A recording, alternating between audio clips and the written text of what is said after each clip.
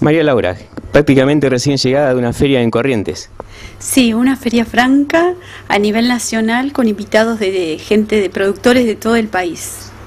¿Cómo llegó la invitación? Por medio de agricultura familiar, eh, que este evento ya es la segunda vez que se hace, generalmente en el norte, que hay gran cantidad de, productores sobre todo. Eh, aparte de Sueño Natural, ¿qué otros productores fueron de San Martín? Participó Capal, que es la cooperativa de apicultores de miel de acá de San Martín de los Andes. ¿Cómo fue esa experiencia? Lindísima, muy linda, muy linda. Cálida, eh, eh, vendimos, tuvimos la suerte de poder vender todo, este, así que fueron tres días de, para nosotros, bastante trabajo. Esto de, ir a otros encuentros, otros lugares, ¿se costea de parte de, de municipalidad, de productores o es todo propio? No, en realidad se costea por agricultura familiar que se hacen estos encuentros para dar a conocer más que nada los microemprendimientos. Microemprendimientos, por ahí cooperativas que recién están empezando, es reforzar un poquito la economía que entra desde la economía social. Eh, ¿Cuántos expositores hubo más o menos allá en Corrientes? Alrededor de 2.000, 2000 expositores. Encontrás de todo. En su mayoría también la gente del norte este, produce mucha miel, este, yerba, té, lo que busque, todo lo que es granos. Eh, también estaba la gente del INTA con semillas, de todo.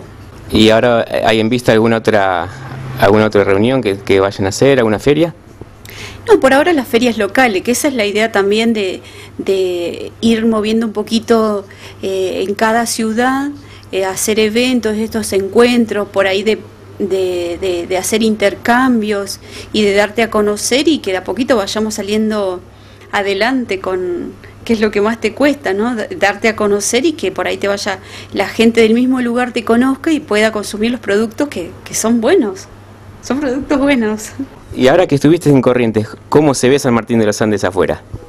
Se ve lindo. San Martín es una ciudad totalmente conocida, ya sea por el volcán La Nina, así muy, muy representativo, por gente que te tiene en cuenta para poder viajar, gente joven, gente que ya ha venido.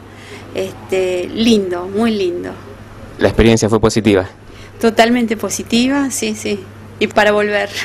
Teniendo en cuenta que ya la temporada está prácticamente ahí nomás, menos de un mes, eh, ¿cómo va la producción de los dulces?